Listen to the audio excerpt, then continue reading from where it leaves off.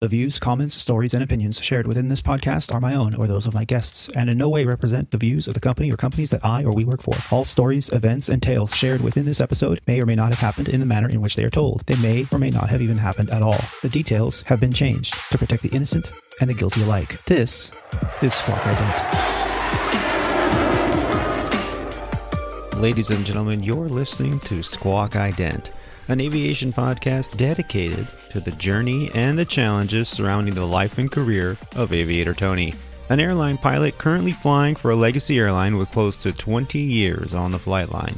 This is episode 16 of Squawk Ident, recorded on the 28th of December 2019. From the Aviator Mobile Studios 314 of the Hampton Inn and Suites in beautiful San Juan, Puerto Rico.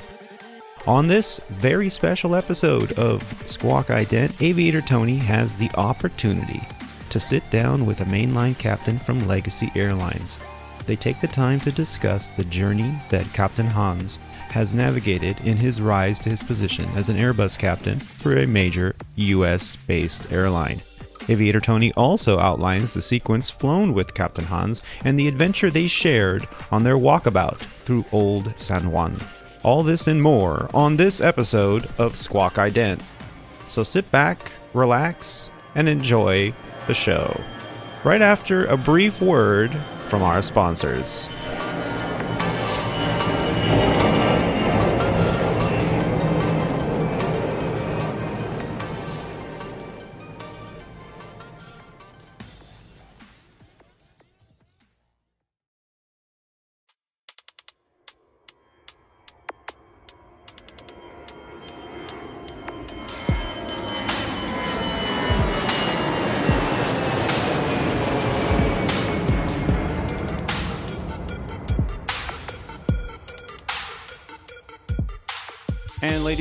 Welcome back to the show.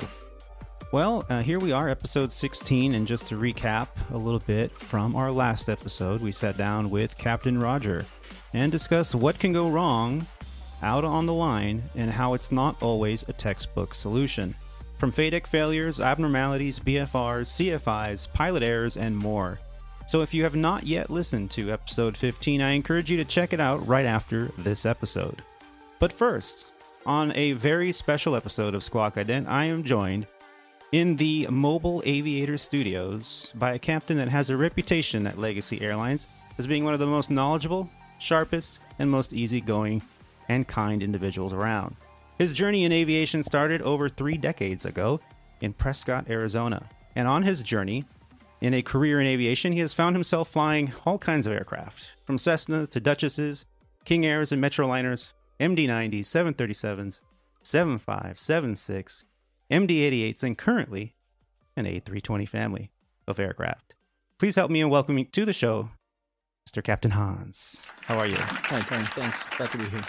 Well, here we are in the middle of a trip. We've uh, flown together more than a few times now. Yes. And uh, every single time it's been a relatively uh, positive experience. I think we, we get along really well. And it's always a pleasure to be in an aircraft, flying the line at work, and really getting along with your your pilot that's sitting next to you. And I thank you for that. It's it's actually a big pleasure to have that. And I think and I thank you. It's uh you hit on all the all the important things. It's uh it's easy to work with you. Yeah, thank you. Thank you so much for saying that. So we're currently in the midst of uh, the 2019 holiday travel season, and with that comes an increase of passengers behaving badly, people that don't normally fly, I guess. And in this very sequence, we started out together. We hadn't seen each other in about a year. About a year, yeah. And uh, first leg together, you know, we we said our hellos at our typical, you know, have you been that I've I've spoken about a little bit in previous episodes. Um, but we, you know, we say, hey, good flying with you, good to see you. We're gonna have a fun trip, and this trip actually is is not too bad. It's got a couple red eyes in it, which is kind of a negative. Challenging, yeah. yeah. But here we are in Puerto Rico and yeah. had a really great time today, I got to say. Yeah. And uh, we started this trip out on the very first leg with a little bit of excitement, yeah, we? we? never even left the gate. Hadn't even left the gate. And as uh, sometimes happens, and we've mentioned before uh, in, in previous episodes, we had an intoxicated passenger on the aircraft. Right. Yeah. And how do you recall uh, what exactly happened there? Yeah, our uh, our number one flight attendant came up front and uh, uh, said that uh, there actually was a flight attendant sitting next to this passenger. She was uh, he or she. I never did find out if it was uh, him or her. Huh. Was non-revving in uh, in the seat next to this first class passenger, and uh, they both felt like there was a uh, heavy um, smell of alcohol. And uh, then the passenger very promptly proceeded to demand drinks and uh, and the flight attendant said, you know, you might want to slow down, and that kind of led to a little exchange of words. But um, yeah, it was uh, readily apparent that uh, at least we suspected that there was alcohol involved, and um, it's not up to us to uh, make the final determination. So we got uh, we got a supervisor involved, and uh, t- took a while for them to get there, but eventually they did determine that the passenger did have a few drinks and they were trying to push it on us to maybe look the other way. It's not so bad, but uh, we'd already made our decision that we uh, we didn't want it. We uh, we we were uh, more convinced that it was uh, safer to assume he had too much than to err on the uh, possibility that something could happen down the line. And say, well, we already knew that there was some alcohol involved. Right, right, Yeah. and which would fall on our responsibility as well, right? Yes, yes, it would have been. Yeah. Yeah. So, why is this a big deal? I know I've I've have friends that don't fly regularly, um, that are not in the aviation field, and they they hear these stories, you know, occasionally at dinner parties and whatnot, and and uh, they're like, well, so what's the big deal, you know? And the big deal, as you know, uh, but maybe our, some of our viewers or our listeners don't know,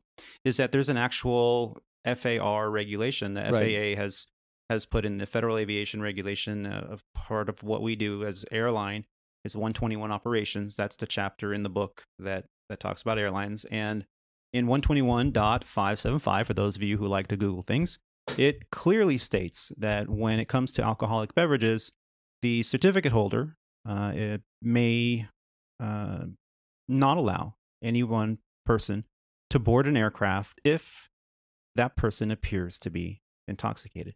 Doesn't smell like intoxicated. Doesn't have no proof that they were drinking, but appears, Appears. to be. So it's it's a pretty tight regulation. Now, do people sneak on? You don't really realize that they're intoxicated until halfway through the flight. Right, Happens all the time right, right? And then that becomes a big issue. Um, if you know the flight's a boring flight, which we all strive for, uh, and nothing happens, big deal, right? correct. But what happens when either that passenger becomes unruly, makes it uncomfortable for those that paid good money to sit next to them, or we have an in-flight emergency and now we have to egress the aircraft? Now you're going to have some guys stumbling maybe at the exit, blocking inca- incapacitated. Yeah, right and Yeah. and now what how many people are going to possibly Right. get injured or even die from something that was held up in the evac? Yeah, I would say, you know, like most of the federal aviation regulations, you can basically uh, uh, go back and, and trace it and say, why is this law there? Why is this regulation there? And of course, there's a long history of drunk people getting on airplanes and causing all kinds of problems. Yeah. So, um, yeah, it's now it's in there. It's in the books. It says uh, if you appear to be intoxicated, they're not going to take you. Yeah, and the regulation does uh, come into many other um, details uh, about people traveling with people that appear to be intoxicated um, you know, people that are armed cannot have drinks on an aircraft uh, and i just revisited this this reg for the purpose of talking about it today and and actually had forgotten that yeah if a leo comes on board for whatever reason and, and a police officer or whatever an, an agent of the government and they have their their firearm with them i forgot that they cannot be served Not to alcohol be served. right? yeah, so you know it's good to revisit these kind of things once in a while Sure. okay uh, but yeah a little bit of excitement on our trip so far you know It, it was, yeah, it was, and and it's a typical thing where we have uh, a line that we have to draw, and and uh, you know the I think the customer agent uh, was kind of hoping that we would just go along with their word that it seemed to be okay, sure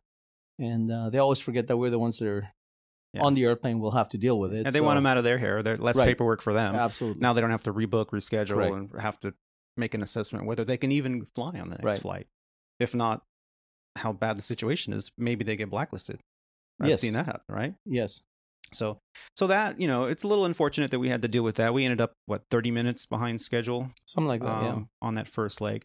But uh, this sequence was not that bad. I know we both kind of talked a little bit about it earlier today about, you know, we kind of looked at it and going, man, maybe we should trade out of this trip or because it's a little bit tough. I mean, here we are. It's uh, the day after Christmas is when we started. Right. And we did that uh, first leg was LA to Charlotte. Yeah. And it was a late night flight, not not a red eye by any means. Uh, relatively quick sit in Charlotte with an aircraft swap Correct. and we ended up in Austin, Texas. Late. Late, very Yeah. late. Uh, got On schedule, but late. On schedule, yeah. We we caught up, but um, but yeah, we got in what uh, one a.m. in the Mhm. morning. So yeah, you know, you get your rest, and we got to spend the entire day in Austin, and you had a little bit of fun uh, out there visiting some place I didn't even know existed and originated in Austin, which Right. was The uh, the Texas Tower for the uh, infamous shooting in 1966. Yep. Yep, the Texas Tower, and and a lot of memories came back there, and before my time, but we definitely studied about it Right. in school. And and you also went to a really cool place for lunch. Yeah. So Whole Foods Market was started in uh, 1980 or 82 in uh, in Austin, and uh, so their flagship store is there. And obviously, they're you know they're now they're a major uh, corporation and they got stores everywhere. But the original one is there, and it's uh, it's pretty cool. It's pretty nice to go there. Yeah, and Yeah. I think next time I go, I'm gonna definitely venture out to check that out. I like Whole yeah, Foods. encourage it. Yeah. yeah. So a great place to grab lunch. Um, I uh, I pretty much had a pretty relaxing day, you know, especially coming off of two weeks of vacation. Plus, I had training before that, so I hadn't been in an airplane in like 30 days. So, And it was a full day. Um, Yeah. We we blocked uh, north of 7:30 that day. I think. oh, was it? Yeah, Yeah. it, it's it was quite a long day of flight time. Yeah. Flight time. Yeah. um, and in the dark mostly. Mhm. So you know that does play a toll. So yeah, I, I hit the gym and grabbed lunch and and walked around downtown. It was a really nice city, a university city, you know, Yeah. University of Texas Great of town. Austin. Yeah. Great layover.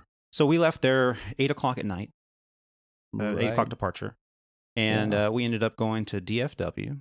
Not bad, really, really fast flight. Yeah. And then we had that sit, hour and thirty Right. minutes or something like Yeah. that. Turned in a little bit longer because the inbound flight Got was a little late. bit late. Yeah.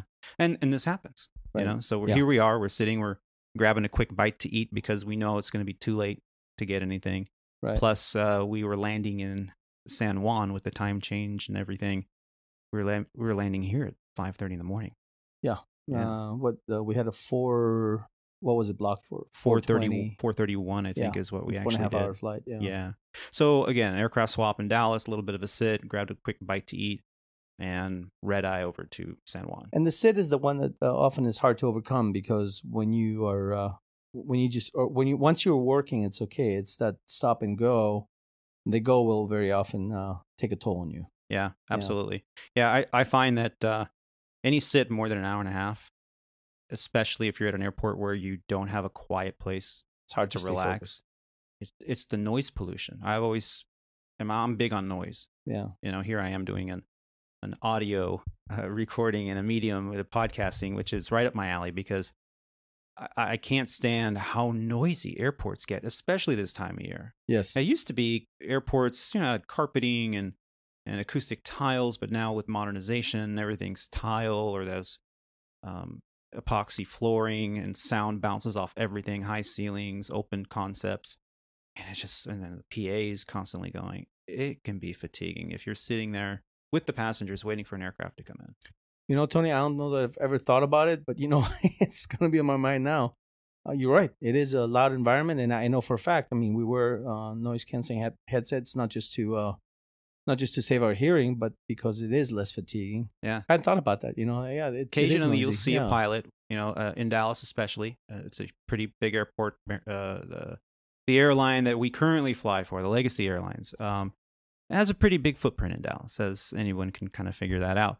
But uh, we often see pilots walking past with those quiet comfort Bose heads, Headsets headpho- on, and I'm thinking, uh, you know, the first couple times I saw that years back, I thought, yeah, it's kind of tacky. You're you're in uniform, you're in the public eye, you should, you know. But now that necessity. I kind of see it as pretty Yeah. smart Hmm. because you're saving that you- you're not going to be as fatigued. Right. when you're doing that three legs with you had two sits between flights. You know. I, I haven't done it yet. Um, I, I keep thinking I have a hard time overcoming the uh, the, the the image in my head of the teenage kid, you know, bobbing to his, you know, rock Right. group or something. got the beats on. He's like, Yeah. yeah. But I mean, there's you gotta a do what you gotta do. those you know? headsets Yeah. are getting smaller. I know they have the inner ear noise canceling now, Right. So those are maybe a little bit less uh, visible. But intrusive. Yeah. yeah, I, I I think I might kind of do that. Maybe not in the public eye, but maybe when I'm sitting at a gate. Well, let us know what what results you get out Yeah, of it. I'm- I'd be curious to know. Yeah. I'd like to see uh, even some of the uh, airline unions kind of do a study on that.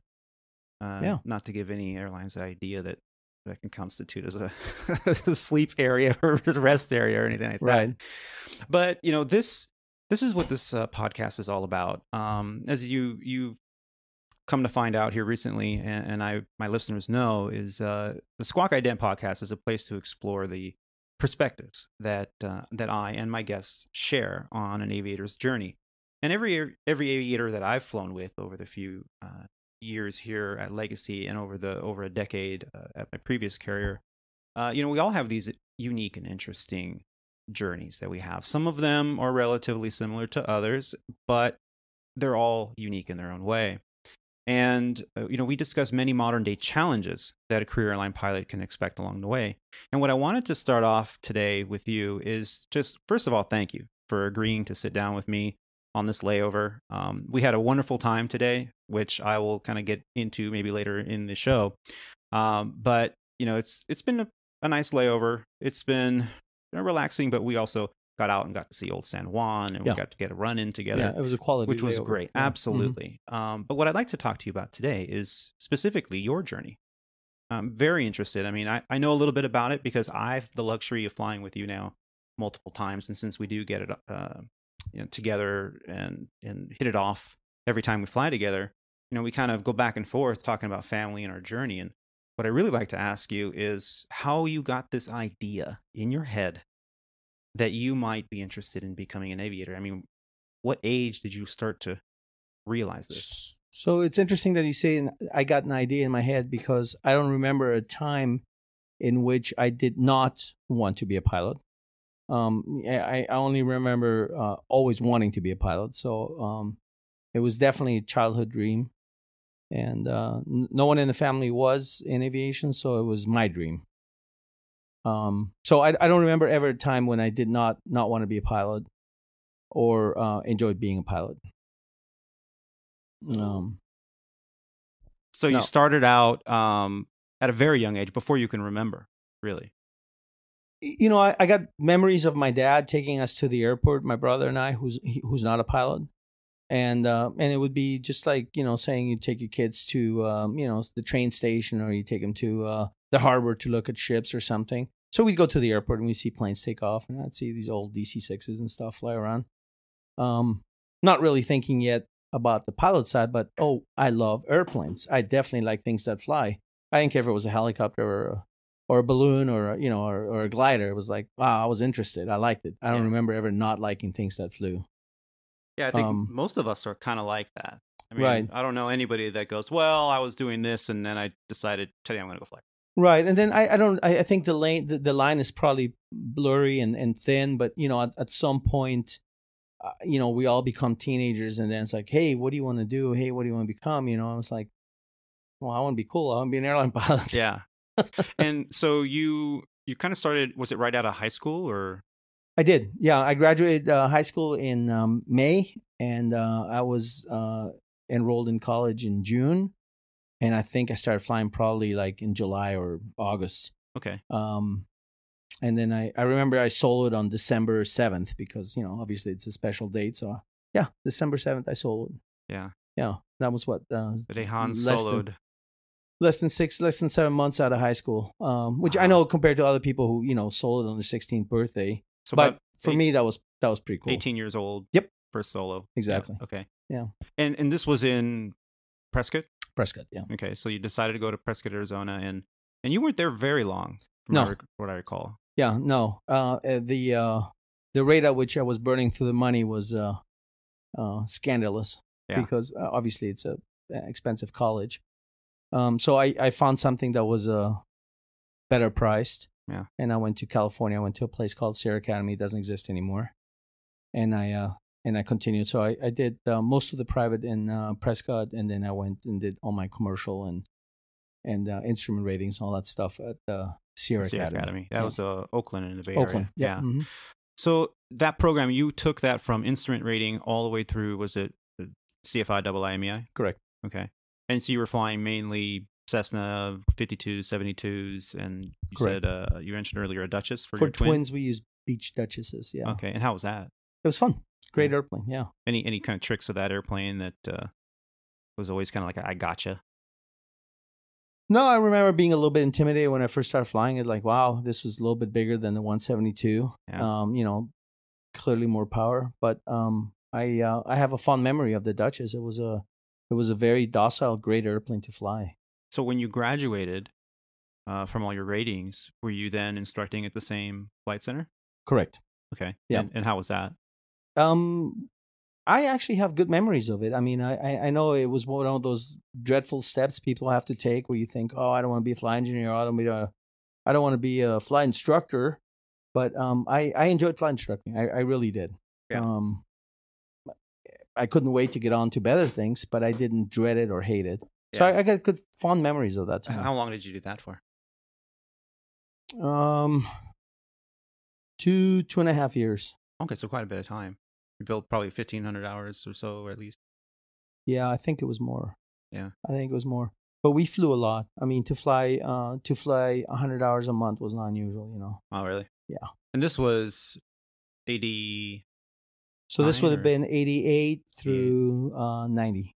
So flying flight instruction was still pretty popular and the pre 9 11 era of training, Yes. not that expensive, yes. didn't have high insurance costs, high Yes. you know rental costs, and And the school would have um the school would have um like I remember one time we had I don't know how many there were total, but we had these um they were first officers flying for um I don't remember the country, but they were flying um I want to say like 727s and 737s. Hmm.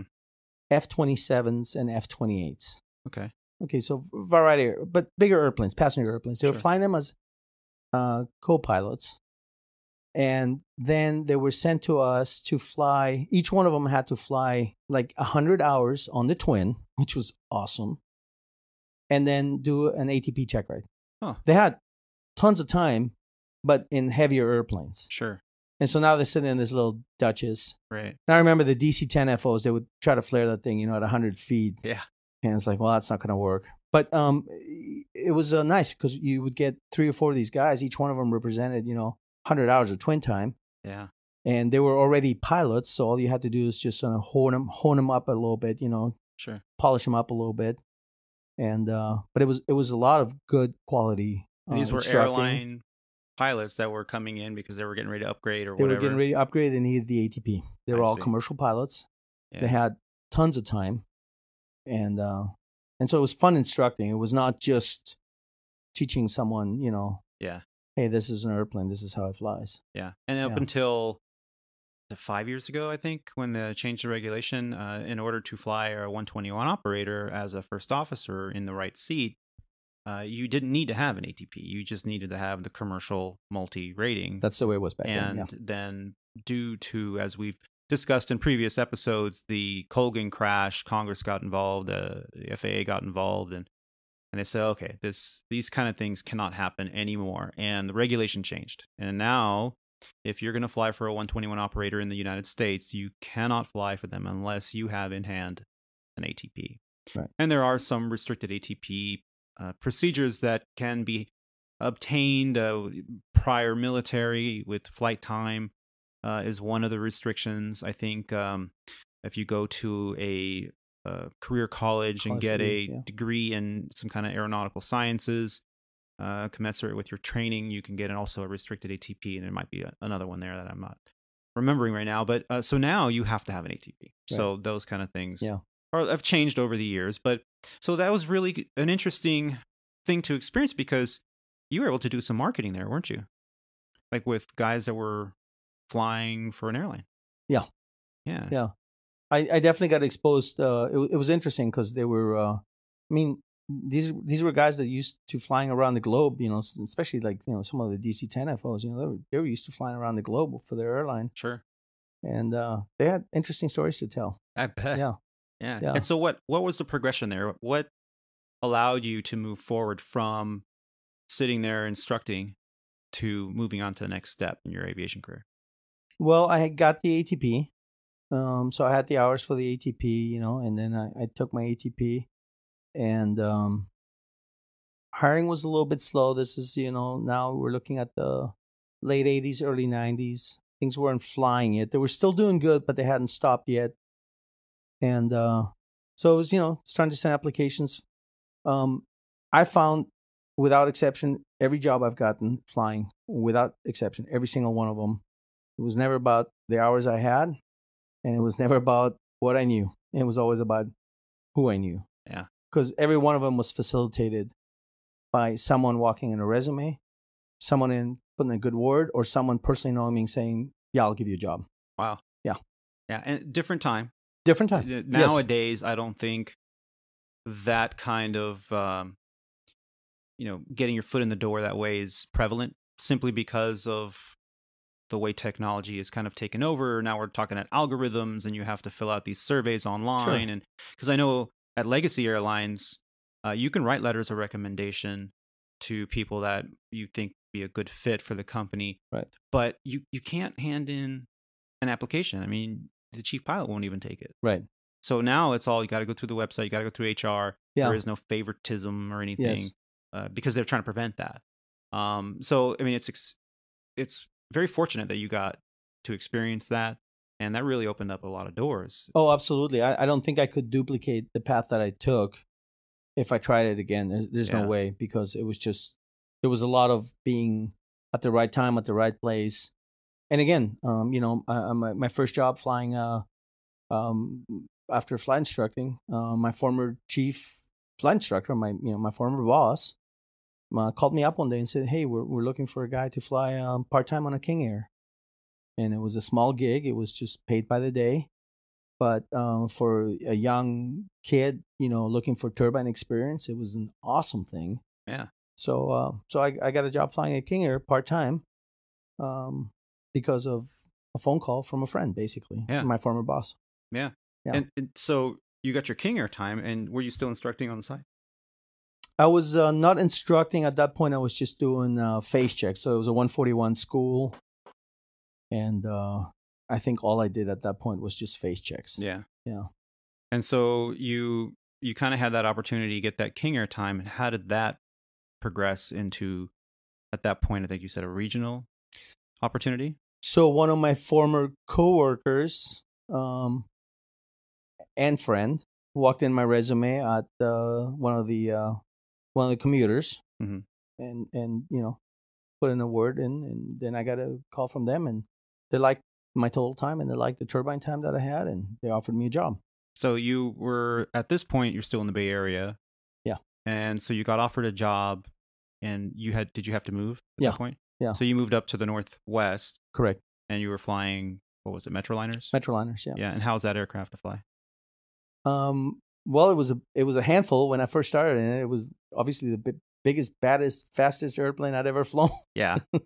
Yeah, and um, you know, I mean, in hindsight, it, it was kind of a complex airplane. A lot of a lot of the automation that we're so used to having today, you know, it was like it was all digital and no autopilot. You had to fly every leg hand flown. You Oh, know, you alternated. You know, one leg in each seat. Um, you know, one leg the FO, one leg the captain type thing. Sure. But um, but yeah, it was a, the Metroliner was a beast when I first got in it. I thought, wow, Wow.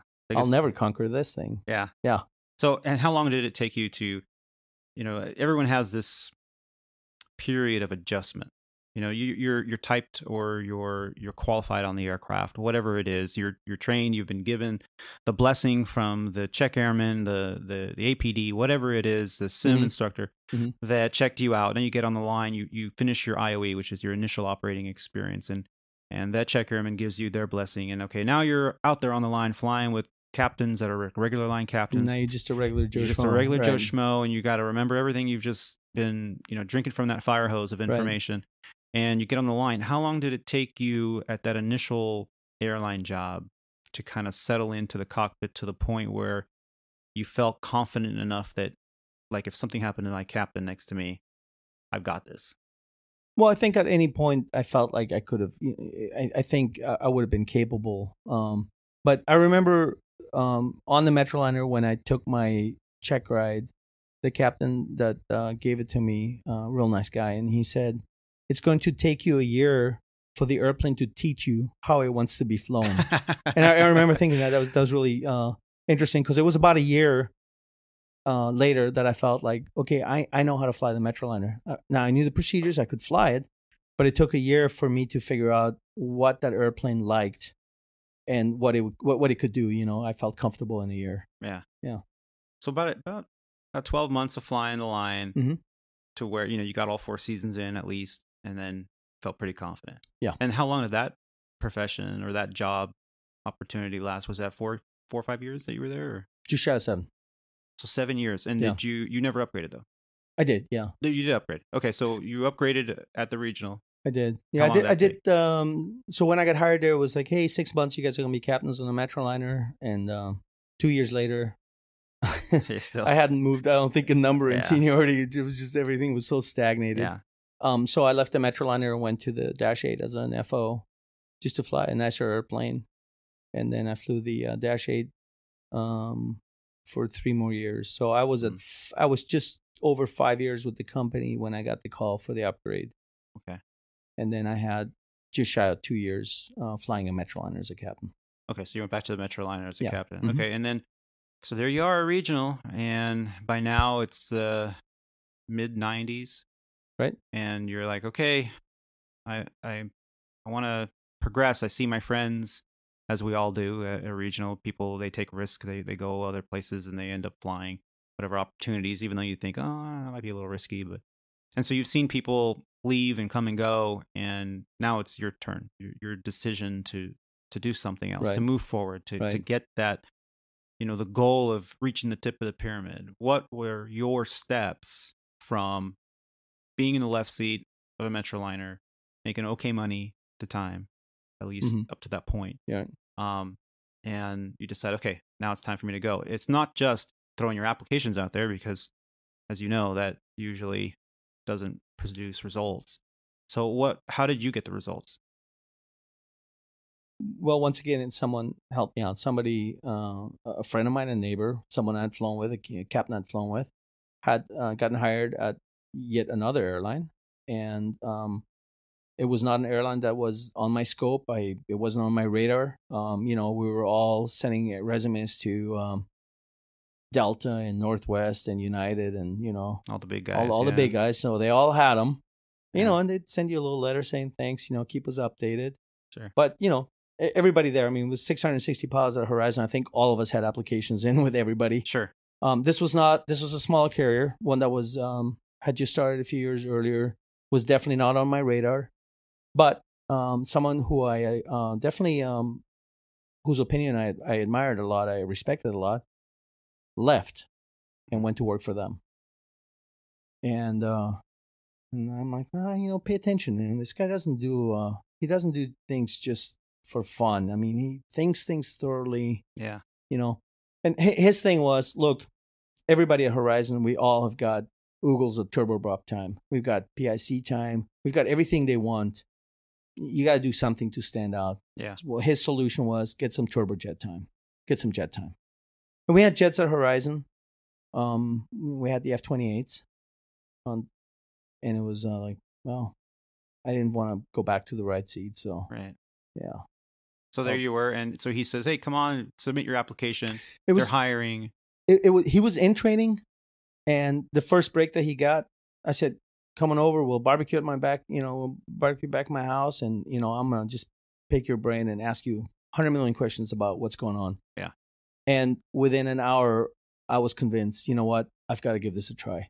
So right then and there, we typed out a resume, and when he left, I gave him my resume.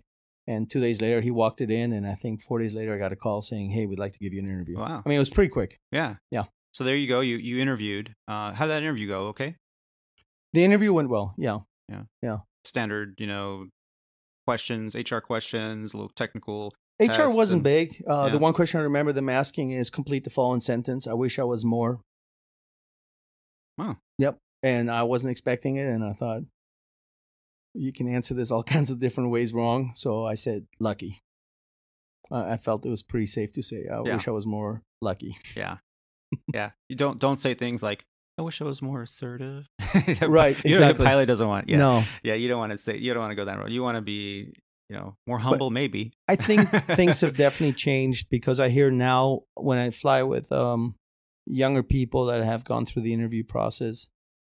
Yeah, I understand HR is a totally different beast now. Mm. I mean, that was face to face with a couple of check airmen and chief pilots, and uh, it was pretty straight, pretty uh, straightforward. Yeah. Couple of flying questions. Um, Did you have to do any simulator? Uh, on day out? two. Yeah. Day so two. on day one, they kind of weeded us down, and then you had to wait for after lunch. And then if your name was on the list, they gave you a ticket, and they said, "Here's a ticket to uh, Los Angeles, where the simulator is, and tomorrow you fly the sim." Excellent. And you, Yeah. you told me a little bit of a story about that that I found fascinating. So they put you in what kind of sim was it? It was an MD-80. So they put you in MD-80. You've never been in an MD-80 cockpit before. No. You know, here you are. You've been flying, you know, Metroliners and Dash Eights. A little bit different beasts. I mean, I'm sure you know the instrumentation is all there. The basics are all there, but and they just told you just make the callouts you normally would Right. on the Metroliner. Right. Because they weren't really looking for you to know flows. So obviously, you weren't going to know them. They were looking to see if you can handle complex, quite faster airplanes. Really? Yeah. I I don't I don't really know if I would say um, complex or faster airplanes. It was sort of like how do you manage your cockpit? You know. Mm. Do you remember to call for a gear up? Do you remember to call for flaps? Do you remember to call for a checklist? Huh. I, I don't I don't know because uh, they really weren't trying to see if you could fly. Again, years later, uh, in a conversation with a check airman that gave me that that uh, sim ride, Mhm. He said, you know, we know everybody can fly an ILS at that point. So what we're looking for is just your style. You know, how are you managing the cockpit? When are you calling for this? Are you gonna get flustered? Because we know you haven't flown this airplane before. So are you gonna get flustered when something happens that you weren't expecting? Yeah. And and it did. You know, I mean, the, the airplane was faster than anything I'd ever flown before. yeah. And when I was told to maintain it at a certain speed, I uh, did not realize that an MD-80 level at 10,000 feet would accelerate to 300, 320 knots in no time. Yeah. Yeah, and uh, I was told to maintain it at I don't know 250 or something. I was like, wow. Yeah. And so what set you apart, I think, from from what we've talked about in the past is is that you recognized it and you just kept flying. And you you corrected it. You corrected the situation that you got fast, like you said. You were supposed to maintain 250 and you just kept aviating. What happened in the past happened in the past. You move forward and you're always looking forward. You're not obsessing over, oh crap, I missed, I just screwed that up. I'm going to ruin my resume, my application here or my my interview, and when I, they're not going to hire me. And you, you start getting in your head in No. the sim when it's none of that stuff is important. You're flying the airplane. You need to fly the airplane. You got to Yeah, fly the airplane, and that's what they want to do. They want to see the, those that can maintain their right, composure, continue to fly the aircraft, and those that freak out and just stop flying. right. So, and and thankfully, you you passed that interview. You got on with that airline, and you were there. How many years? Are you Two and a saying? half. Two and a half years, and then mergers and acquisitions Correct. and you went from flying a, a small air, uh, aircraft outfit to one of the big three.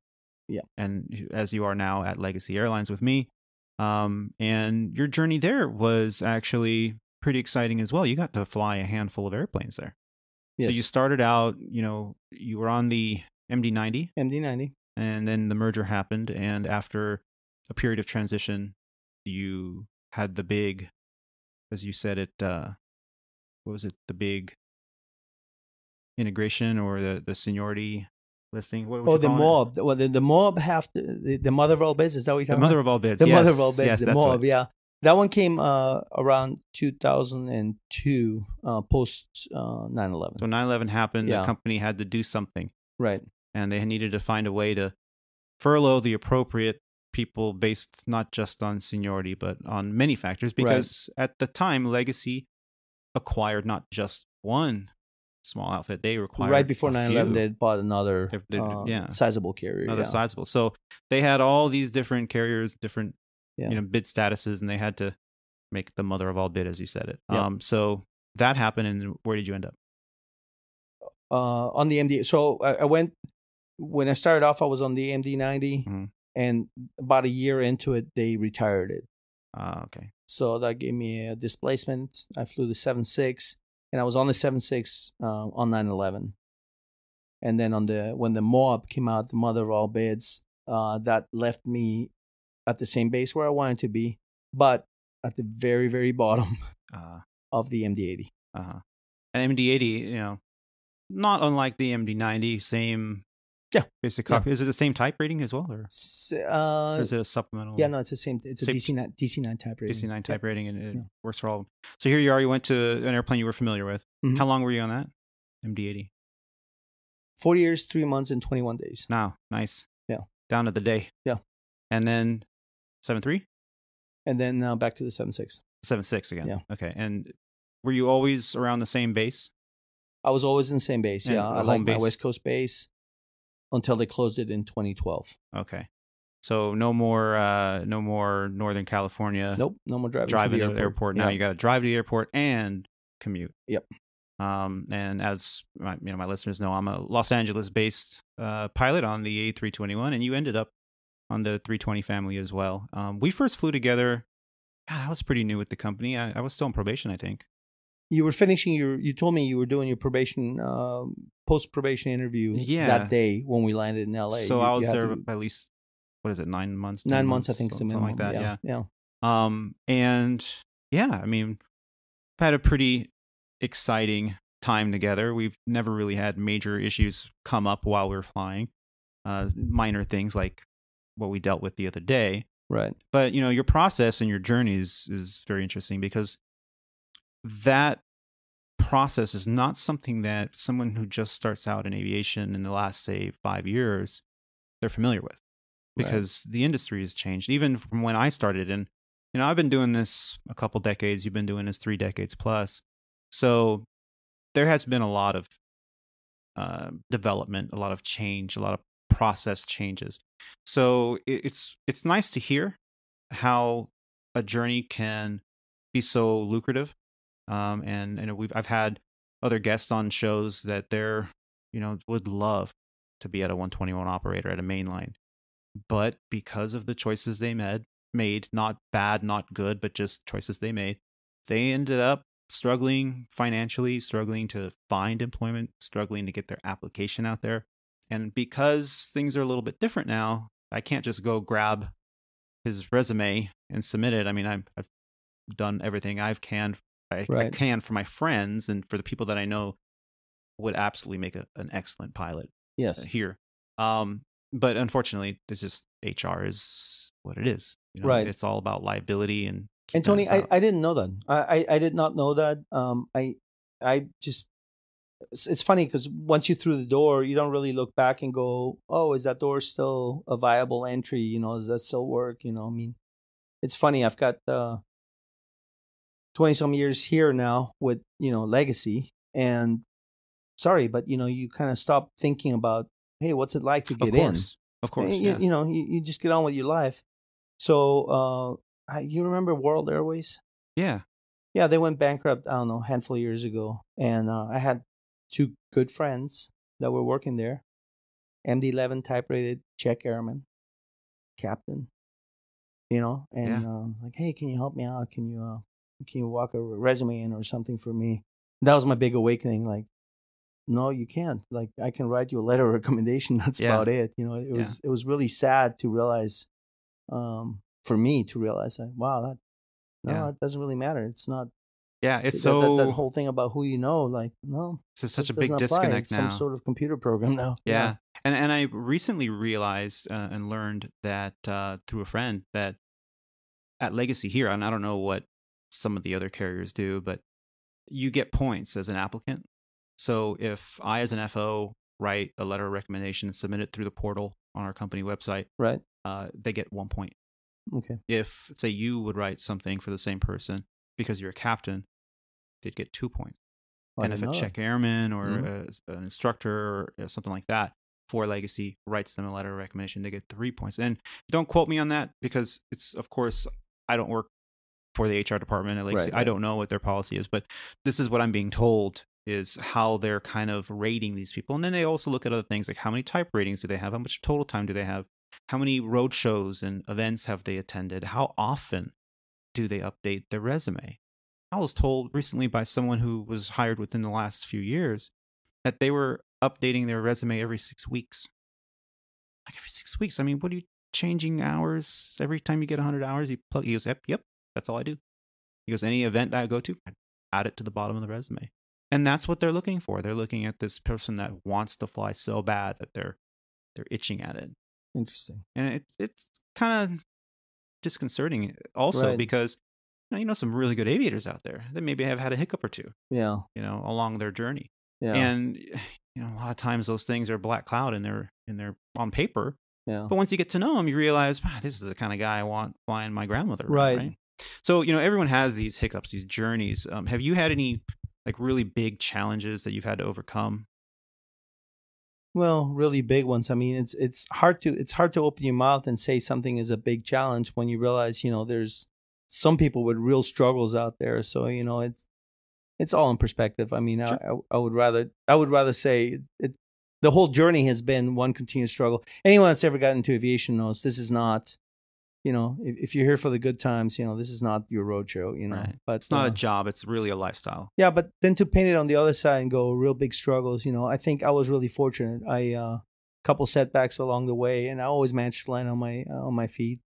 So uh no, I, I would say if I if I think about it, I really did solo under a rainbow, you know. Wow, that's excellent. I mean, and that's wonderful news because that gives people hope as well. That you know, oh, if I get into this career field, oh, look at the sacrifice I'm going to have, and then they get to hear, you know, someone who's had a really a nice journey, who's who's been fortunate and been lucky. You know, it's funny that you said, you know, I wish I was more in that first interview, and you said lucky, but it really sounds like you have been. I have been, really, yes. Yeah, you've been very Yeah. fortunate. Um, and at the scariest time, scariest experience that you've had behind the controls of an aircraft, would you be willing to share something like that with us? Sure, absolutely. I I, I think uh, in commercial aviation there was a time when we took off from San Francisco heading for New York in a seven six, and ironically that morning, uh, while we were uh, holding short in uh, San Francisco, um, for some reason the uh, the captain and I uh, were talking about Swissair one eleven, Hmm. uh, an MD eleven that caught in fire, and they say before that thing actually crashed in the ocean, um, everybody left the cockpit because molten metal was raining on them. Yeah, That's how bad it got. that's where there are shorts in the micro cracks in the overhead uh, wiring that caused the insulation that was metal coated to catch fire. Correct. Correct. Yeah. Yeah. And that burned slowly in behind the panels, and it migrated from the cabin all the way into the cockpit, Right. where it started to drip down. Right. The, those metal insulation, Yeah. uh, metal molten shavings were falling on the Falling. pilots, Yeah. burning them. Yeah. Yeah. Now, not to Monday morning quarterback, but some of the memory I had was that the flight crew decided to troubleshoot to some degree what they had. Mm. Um, I, I think it's been proven, and again, I, I'm, I'm going a little bit of a limb, but I think it was written had they um, had they simply made for Halifax and landed, it would have been a different outcome. They chose not to land, and instead they circled back out again, and um, Oh. and then then they never made Halifax. Wow. Um, well, this f- friend of mine, captain that I was working with, and I were talking about, it, and you know, it was just in conversation. The accident report for uh, Swiss 111 had come out, and it was like, you know, if we have a fire on board, you know, don't don't troubleshoot things. You know, get this thing on the ground because fire and airplanes are mutually not Absolutely. yeah, not a good combination. Yeah. So two hours into the flight, I remember him saying, "Hey, look at this!" And I looked over and I thought, "Why is this fog coming? Why is this fog coming out of the uh, instrument panel?" And as I remember, the sun was shining in through my side of the window, and I'm like, "What's this steam coming up from from the instrument panel?" Oh my god. And right about there, I see his eyes and I realize, oh, this is not steam. This is smoke. And he's reaching for his oxygen mask. And I'm like, well, I, you know, you just get that moment you go, action, you know? Yeah. And so I, you know, my oxygen mask and, you know, put a mayday out for uh, ATC and, and they're like, hey, what do you want to go? And it's like, what's the nearest airport? And they said, uh, Gillette, Wyoming is, you know, you're two o'clock and 30 miles. And I'm like, Gillette, Wyoming? That doesn't sound like a big runway, but, um, Yeah. you know, and meantime, we're running a checklist and starting an emergency descent and, you know, trying to figure out the source of the smoke and the fire. And uh, long story short, we ended up um, diverting into Casper, Wyoming. Um, but I remember before the smoke dissipated, while it was still building in the cockpit, I remember looking right out my window and seeing um, I 80. Ah. And I thought, we're going to land on I 80 Yeah. in the middle of nowhere. Because I thought, you know what, in five more minutes, we won't be able to see our thing in front of our in front of our eyes. You know, it was it was just that dense. And just like that, it stopped and dissipated. It turned out it was um, uh, one of the uh, screens had slowly burned itself up and Uh, created a tremendous amount of smoke. We never saw. Oh, and that was the other thing. I remember thinking, I see the smoke, but what am I going to do with the fire extinguisher? I can't just shoot it into something where I see smoke. I don't see any fire. yeah, it's coming from But you know, behind the if there's smoke, there's fire. Right. Huh. So where is it? You know, and I, I didn't even want I didn't want my legs to be down there by the rudders because I'm like, at what point are my my you know my pants gonna catch on fire? Because you know the fire is in there somewhere. sure. Of course, there never was, but So we but- didn't know. well, You you how long did you remember how long it took from the moment you first noticed the smoke in the cockpit to the point where you landed? I bet you it was under 18 minutes. You know, it was just under 20 for so sure. from altitude yeah, all the way was- down. I mean, it was just one continuous dive. Yeah, yeah. and uh, yeah, and we landed in Wyoming, and it was okay. You know, Did you get the call from crew scheduling saying, "Okay, we got another airplane for you"? no, that time I didn't. Uh, uh, the, the event itself is kind of a long one for for a separate story, maybe someday. But um, yeah, that that I remember that time thinking this might not have a happy outcome, and the happiest outcome might be uh, putting this thing down on uh, on Interstate 80 because Yeah. literally there was not a suitable place to put that thing down immediately. Um, that's probably you know a little bit of the adrenaline hitting me, but yeah, I, I remember thinking this this is it. This Yeah, is going to you be your worst yeah, case this, this scenario is going to be uh, your worst case scenario. We're going to end up on the freeway somewhere. right. Yeah. Um. So I, I think that's probably like uh you know Like the, the biggest one that sticks out. Yeah.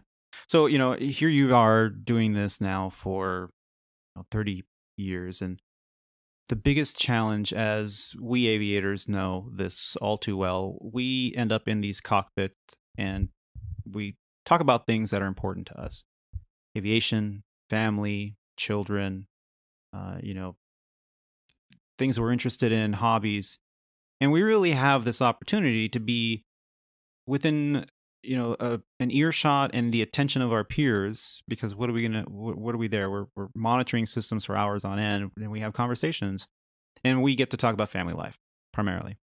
And for some people that's a big challenge and for others they seem to adapt with being an aviator flying for an airline being gone two three four five six days a week sometimes and maintaining a happy home life. And you know we've talked you have you have a I'd say very successful home life uh, with your family and, and you know wife and family and, and kids. And what's the secret? I mean, if if you had just had to give a quick advice to a young aviator starting out that might be starting a family of their own, and now they they're trying to get in an airline career field, what's the best advice you can give? You know, Tony, I, I think um, the best advice I would give someone is to be very careful of the uh, toxic culture that exists out there. I think, um, I think when I talk to friends who are working for other- airlines and who've had different career paths, the one thing that seems to be the common denominator is um, if you buy into the belly aching, if you buy into the toxic culture of us versus them, if you really truly believe that the company's out to screw you at every turn and that's all that they want to do, you're going to end up being a bitter person. I, I, I really think so. I, I don't know how else to say it. I realize it's easy for me to look back. I've had a lot of fortunate breaks go my way. Um, but I try not to be bitter over reassignments. So I'm not trying to be bitter Yeah. about not getting the vacation or the day off or the you know I, I try not to let that influence it. And um and i think um if you don't have anything good to contribute the least common denominator is you can bellyache anybody can complain. Yeah. and we're surrounded by people who love to complain. Yes, we are. and you can buy into that and go you're right. You're right. This crew meal is horrible You gotta remember somebody else doesn't have a crew meal or you know somebody else's contract doesn't get them a room uh, a crew meal or somebody may that you know that might make the difference between them eating that day or not because you know they're paying for three kids to get to college you know True. and and and they've had some bad setbacks and you know whatever so it's easy to look at the fortunate things that we have overlook them and only complain about the bad things i'm not saying something i don't do. You've flown with me. I, I try not to bring a negative or toxic environment into Sure. the cockpit and complain about things exclusively or to act like the company owes me something. So i would say you know what? Use some common sense in that regard. Sure there are fights that you need, that need to be fought. You know you may need to step up to a strike line someday and and you know and hold it down for the profession. I'm not saying turnover for the company but in day-to-day operations you don't need to be toxic and i see people who are toxic and they really truly believe that someone owes them something Yeah. So, and so they're perpetually unhappy getting into this toxic culture and buying into it and then having the negativity and the drama and the complaining, you think that those people often take it home with them? absolutely Yeah. And Yeah. so that's oh absolutely you start believing you really start believing that someone you know took advantage of you Yeah. Yeah. you know I, I couldn't agree with you more. I'm I've always said the same thing. As a matter of fact, uh, in my time uh, wearing the four stripes at the previous carrier, uh, I often said to people once that cockpit door closes that this zone is the drama-free zone. So Well. and that's the nice thing about having four stripes is you know you've you've had your four stripes for a long time, is you get to set the tone. Yeah. You set the tone in the cockpit, and you can easily turn to the the person next to you and say, you know what, I don't need to hear. It.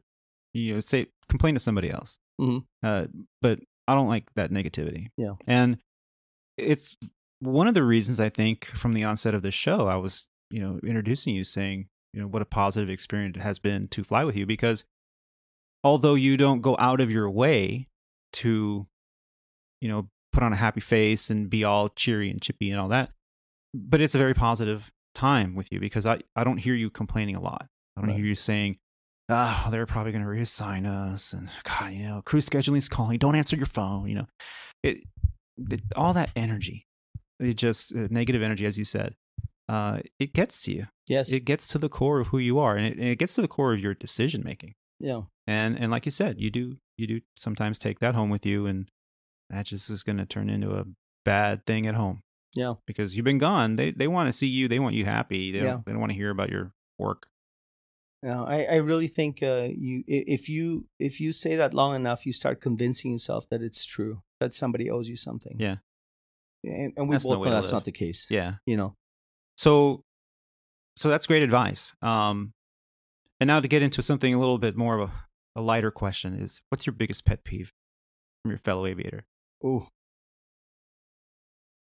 Well, yeah, it probably goes wrong along the same thing though, because uh, unfortunately, I, I see you know, and change is constant and it's inevitable. But I, I've seen over the thirty years, I've seen some of the some of the courtesies that we had for each other, some of the respect that we have to each other. You know, regardless of whether we were flying the same uniform or whether we had the same political or the same, uh, you know, outlook on whatever it was there was a, somehow there was a professional respect that we had for each other. I've seen that erode a little bit. It saddens me. I don't know that it's necessarily a pet peeve that you're looking for, but it does sadden me. I think that to some degree we are turning into our own worst enemies. You know, exactly what i was that i was i mean not that specific but that's what i was looking for to see you know what is it that you see that you're not happy that's happening out there whether that's something simple minute or something in the big as you've given us this big picture of just this erosion of this common courtesy. At, Yeah. the end of my my uh, my episodes here of this podcast, uh, I started about 90 days ago. At the end of every single episode, I ended up with a kind of a catchphrase, and I say, uh, "Keep the dirty side down, take care of yourself, Mhm. and take care of each other." Mhm. So I couldn't agree with you more. What you're saying is that there is an erosion of of uh, mutual respect. If you wear the uniform, it doesn't matter if you're flying, you know, caravans, you know, puddle jumping over caravans, uh, you know, or you're flying the the heavy over to London Mhm. from JFK. I mean, pilot's a pilot Yeah. and and we really should be taking care of each other. And and there has been an erosion, but I also think, especially in the newer crowd, the younger crowd, the regional level, Mhm. uh, at the entry point of a career in aviation at the airlines, I do see that technology and social media has played a role in bringing us a little bit further together. There are those online that are extremely negative, and I do everything I can to avoid reading, viewing those kind of comments and those toxic people, as you said. Yeah. Um, but there are those that go, "Hey, you know, we just got this," and and you know, "Oh yeah, that's great," and and they can talk about the advancements that they're having at their airline and then you're on following their page or following that person and oh yeah that's great and then you can bring it up to your union representative. And next thing you know you're getting those kind of you know perks or increase in Yeah, contract Right. language. So i think that it goes both ways. There are i think at the upper levels senior guys that have been around forever have been doing it their way forever. They don't want to change because they know what they have to do. They don't have to learn something new or learn a new way of doing something. Those guys kind of give it a hard time. I mean, I can remember I was on IOE and we flew into Charlotte. And, you know, I've been in the culture of legacy airlines for almost 15 years. And I kind of know the reputation and, you know, one group versus the other group, one base versus another base, even one type rating versus another type rating. Pilots kind of get a chip on their shoulders and they bring that negativity to the to the line. And I can remember we came in in Charlotte. My my check airman was talking to me about this and that, and and we're walking to the aircraft that had just parked at the gate, and they were deplaning, and the captain came off, and he walked right up to me, looked me square in the eye, and goes, "Hey, how you doing? Good airplane. Uh, wrote this up, this and that." And I'm looking at my captain, who's standing not two inches from me to my left, like, why? Why is he talking to me? Mhm. I'm a new hire. Why is he talking to me? You know, he should be talking to you. And he just eye contact with me only. And he told me, oh, yeah, maintenance is coming out. It's in the book. You know, it should be a good fly. Have a good one. Talk to you later. And he walked off. And I was like, all right, thanks. And I, I look at my, my check airman. What the f- was that? He goes, um, Legacy, original Legacy. And he's from one of the merged companies. Oh, He won't talk to me. oil and water won't mix. I said, How the hell does he know? He goes, When you've been around as long as we have, you know who Yeah. the senior, you know, you guys have been around for a while. I'm, obviously, I'm a check airman. I got check airman wings on. I'm giving you IOE, obviously. Um, he knows that I'm not one of him, one of his group. He knows I'm one of the other groups. Oh wow. So with all these acquisition and mergers, we have that. And I thought that kind of dissipated a little bit, but that wasn't long ago. Yeah. And so it is out there. There is that toxic element out there. Yeah. And we all do need to take care of each other. Yeah. Absolutely. Oh yeah. Yeah. It's it's sad that it's there. It's sad that uh, such politics come into play. But yeah, it's it's out there. Yeah last question for you. If one of your sons came to you tomorrow and said, I want to be an airline pilot, I'm going to stop what I'm doing and I'm going to aviation school, what would you say? Well, it's already happened. Oh, So, really? yeah. So I, I have a 15 year old home. Um, I've been flying with him since he's 10. wow. Now that doesn't mean we fly all the time, and doesn't mean that I'm flight instructing. Right. We've flown. Sure. Um, he's at the point now where um, if I died on the airplane, he would be perfectly capable. I mean, he does everything. He does the pre-flight. He flies the airplane, everything. Um, and so we talked about this, and it's like, well, yeah, Dad, I think I want to be. Uh, I think I want to give the uh, you know the the pilot thing a shot. hmm So we're about to buy an airplane. Um, Wow. Only because I think it's going to be in the long run the cheapest way to help them get the experience and, Sure. and everything. Um, does that answer your question? Yeah, I mean, were you happy with it? Uh, You know, yes, I am. Uh, I'm I'm happy. I'm so worried. I, I'm thinking I had so many lucky breaks, you know, but you don't really need lucky breaks. You just need to, you know, be a solid pilot and do what you need to do, Yeah, and you put know, in your get there. and yeah. I, you know, I, it's just sad because you know there's so much advice, so much experience. Uh, you just want to Im- impart on him and go. Who knows? You know, in ten years, computers might be flying these things for us. You know, right. I don't really think it'll be in ten years, but the day will come. So it's not a negative thing in your eyes. No, it's not a negative thing. Yeah, And, and, I, I think I've told him that. Yeah, Yeah, m- maybe ten years ago, I would say no. And I and I've had people ask me, you know, my, my son or my, my nephew wants to become a pilot. Can you Yeah. talk to him? And I make a phone call. Like, so why do you want to do it? And they're like, oh, just I love airplanes. And I always, I, you know, okay, why do you want to do it? Oh, you know, just you know, and pilot, and at the end, oh, pilots make a lot of money. Like, wrong answer. yeah, Don't do it. And then they, you know, oh, why, why'd you tell him not to do it? I was like, it's not the right reason to do it. No. And, you know, then they'd call back. And a few times they'd call back and they go, oh, he still wants to do it. I mean, like, how does he say he's, he's doing it? He's doing it no matter what. Mm. Like, okay, now I'll give you, okay, this is what you Yep. got to do. You got to come here because Yep. now he's committed. I know he's, his heart's in it. yeah, Um, but now, uh, I'm like, this is where it's at in the next 10 years with the retirements of all the carriers, not just in the US, but all over Europe. it's crazy. It is amazing. The, Yes. the numbers are staggering. Every few weeks, I read another article from some aviation source Yes. indicating the numbers. And I'm like, Yeah, more than half of every pilot flying in the US today will retire in the Yeah. next 10 years. Where are these pilots coming from? Okay, so they come from the regionals or the the low cost carriers or you know places Mhm. like that. That's fine and dandy, but who's going to replace them? Yeah. So I think your son's getting in at the right time.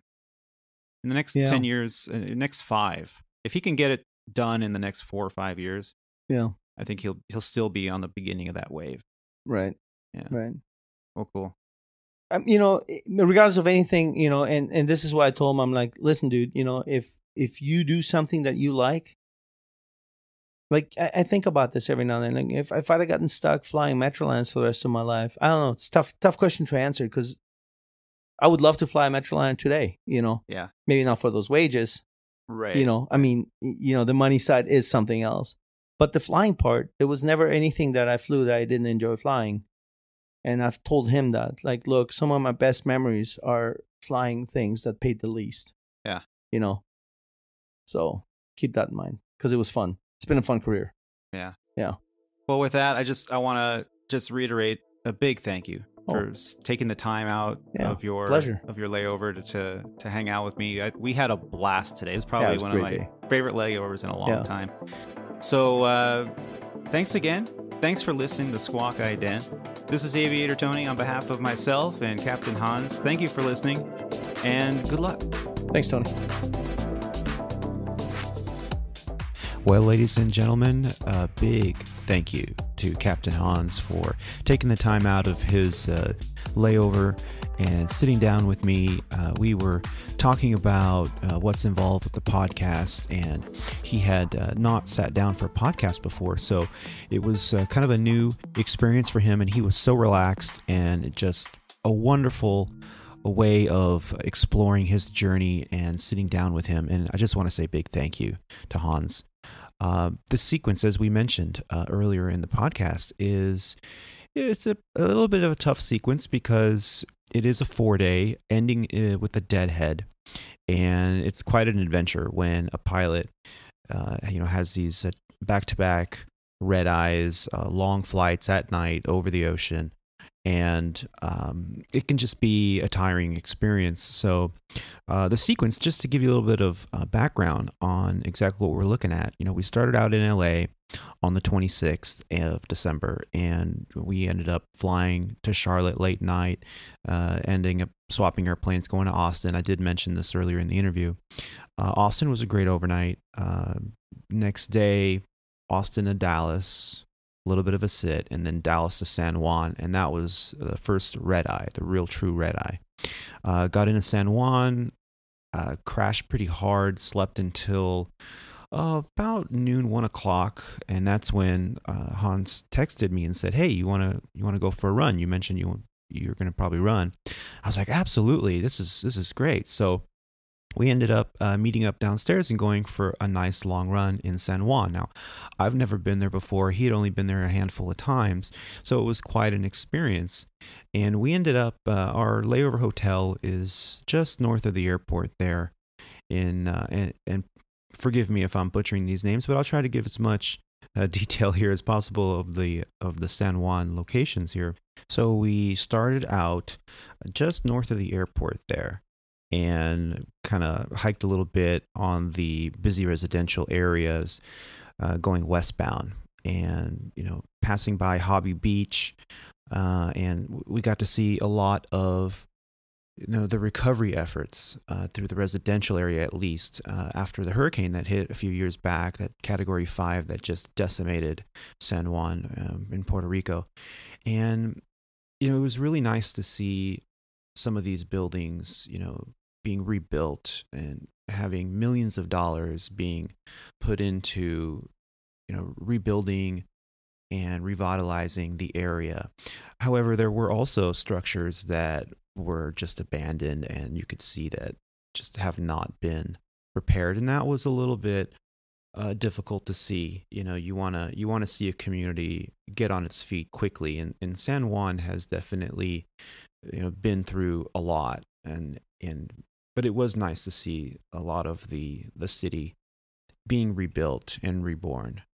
And so we ran um, quite a bit of ways. We decided we were going to run to the castle in old san juan and it's 17 kilometers away. It was it was not a short run by any means but we agreed that you know we would just take it easy and then we'd uber it back because you know something like 16 miles round trip is is quite a bit but you know we're both relatively healthy guys so we started running and passed uh, Punta Las Marías and kept going parque de jose celso barbosa uh, which was a really interesting athletic park uh, tennis courts and a track and we just kept going and we eventually made it uh, onto some of the beach area over there by the uh, the Plaza Hilton of the Condado uh, Plaza Hilton in that area there. Was beautiful. Uh, crossed a, a, few bridges, saw a, just a bunch of iguanas. Uh, actually made it through an abandoned stadium uh, over there by Luis Munoz Rivera Park. Uh, and it just looks like that stadium was hit really hard and just hasn't really been rebuilt yet and that was it was quite ominous to to see that. But you know we kept kept running and walking and running and walking and we made it past the uh, Puerto Rico National Guard Museum and eventually made it uh, through San Old San Juan into the Castillo San Felipe del Morro, which was just this beautiful uh, site, historic site with a huge uh, lawn area, these old cemetery areas. We even got to get a little bit of history there from some of the areas that were once slums and and kind of have been rebuilt.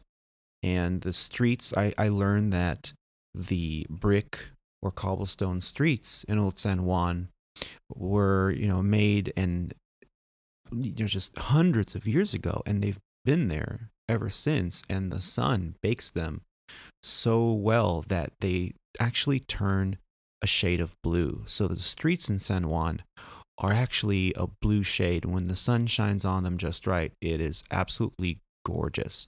You know, the old architecture, the old buildings was a treat. Uh, we initially uh, intended to just grab an Uber and come back to the, the hotel and get cleaned up and grab lunch or something. But you know, we were like, hey, we're we're down here in Old San Juan. Let's just find someplace cool to eat. You know, it's hopefully some kind of patio seating or something, and and then after we eat, then we'll, we'll grab Uber back, and then we'll we'll get cleaned up, and then maybe sit down for the podcast interview. And so, like, yeah, that's a great idea. So of course we both you know get on our phones and try to find out you know good places to eat around there that you know, not touristy. I mean, there was plenty of the whole Chili's and Fridays and Burger King, but when you're in a place, especially layovers, I mean, all layovers, I, I really hate to to go to the chain restaurants. Not that there's anything wrong with these chain restaurants, it's just that, you know, you want to go somewhere like a mom and pop that is going to be a unique experience and you're going to enjoy yourself. And that's exactly what we did. So we found uh, through tripsavvy.com the number one best place in Old San Juan for mofongo, which I want to thank Javier for you know reaching out and and suggesting that that we go out and get mofongo. He he wasn't home. Uh, Javier is a flight attendant uh, that I used to work with over at the other uh, carrier, and I I texted him a couple days prior and said, "Hey, are you're going to be around? Maybe we can get together for a meetup." And unfortunately, he's flying, and so he wasn't going to be home. But he says, "Oh, well, whatever you do, Old San Juan, go check out this some mofongo, get some local beer," and that's exactly what we did. So we ended up in uh, El Jibarito in Old San Juan. It was rated number one for mofongo. Uh, and according to TripSavvy.com, uh, this Sol Street restaurant in Old San Juan brings out uh, brings the outside in with an interior design inspired by its brightly painted neighborhood. As for the food, it's inexpensive Puerto Rican Creole cuisine. The restaurant is known for its trifongo, which we did order, a mix of sweet plantains, cassava, and green plantains. Now, I ordered the mofongo, uh, Hans ordered the trifongo. We we split it. It was a wonderful experience to to try a different taste.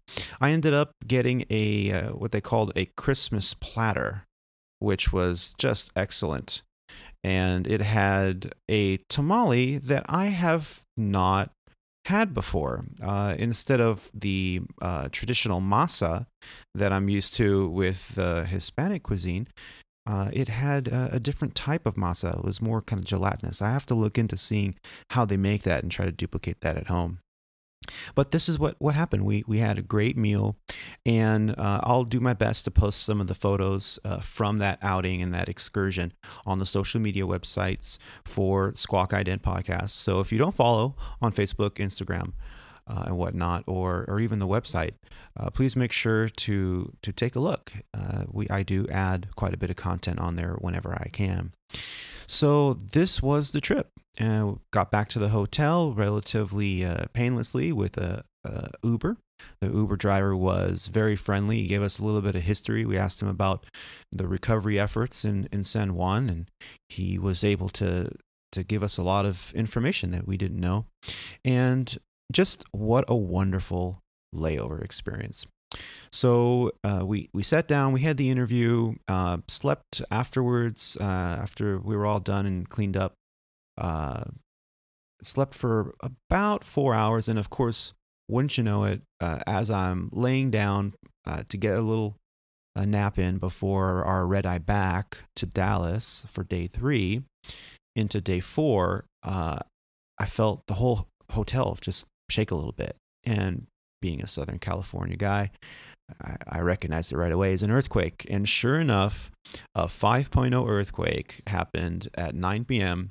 in uh, in San Juan. And when I looked it up to see was that really an earthquake, what's going on, turns out they had four or five earthquakes that evening, all within a few hours. So, yeah, San Juan is shaking, man. It was kind of crazy, but it was a great experience. I did get uh, about four hours of sleep and Our departure time wasn't until 2:30 in the morning, so yeah, uh, got my rest, got all ready to go. Uh, met the crew downstairs and did that 2:30 uh, departure. Landed in DFW a little bit ahead of schedule, and uh, you know we were debating uh, and this is what we were talking about earlier about uh, the last leg being deadhead. We were debating do we try to hop on uh, a flight and non rev home? From there, uh, we were each going to different locations. And so uh, we thought, yeah, maybe maybe the flights are, will allow us to, you know, the loads will be okay. And we can, instead of getting arrested at the hotel and then deadheading back to base, maybe we can just go directly home right away and get home earlier. However, being the end of the holiday rush, there's, you know, overbooked flights and it was going to be possibly a jump seat, possibly not. And I was already pretty tired at that point. So I elected to to just go to the layover hotel and, you know, get my rest in, get my sleep in, and then head home on the scheduled deadhead. Uh, Hans uh, elected to get some rest as well, uh, but he ended up uh, just deadheading back or jump seating actually uh, directly home uh, in the afternoon. So he cut his rest a little bit shorter, but elected to go home. And good for him. You know, he texted me that he got on the flight. Wonderful way to get home a couple hours ahead of schedule. And this is what we do. We we do our best to make the best of being away. And if our last leg ends in a deadhead, sometimes you can kind of get an extra few hours at home. So, all in all, a wonderful trip, a great way to end 2019. And with that, 2020 is just around the corner, ladies and gentlemen. I know that a lot of you have seen on the social media websites the the memes about 2020 and how it's just around the corner with the with the roaring 20s back in and i'm looking forward to it you know these these past few months have been kind of just a head spin with so much going on and i'm sure 2020 is going to be uh, just as ferocious with just keeping the keeping the ball rolling and going i'm not um, kind of guy that makes New Year's resolutions. I think resolutions are something that should be done daily. And, you know, you just always strive to be a better person and in a better place. And you do what you got to do to get to get there. So, for all of you listeners out there, I hope you had a wonderful 2019. And I here's to having a prosperous 2020 for all of you out there. If you're uh, getting into aviation and you know, you or maybe you're thinking about getting back into aviation, I hope that this podcast has allowed you to get a little bit more insight to make good choices and a better perspective on the life and career of professional aviators. So, if you are listening to Squawk Ident on a platform that you really enjoy, please remember to like and subscribe. Uh, it really does help us out, especially uh, if you can give us a review. That's always appreciated as well. So don't forget to visit www.aviatortony.com. That's Alpha Victor, the number 8, Romeo Tango, Oscar November. And there you can listen to the show via either the anchor.fm links uh, under the episodes tab, or you can check out the unique episode cover art that I produce and uh, for every show. So, great place to check that out. I know a lot of the other platforms uh, just use the the default uh, cover art, and there is actually unique cover art for each episode. So, I encourage you to check out the website if uh, your platform doesn't uh, produce those unique uh, cover arts. Also, uh, don't forget to contribute if you would like to become a producer to Squawk Ident and help out with a very small, uh, either one time or monthly donation, then I would greatly appreciate it. You can do that either through anchor.fm or directly from the website. So, in closing, I'd like to just say thank you for taking the time to listen to this grateful aviator. Keep the dirty side down be safe and take care of each other.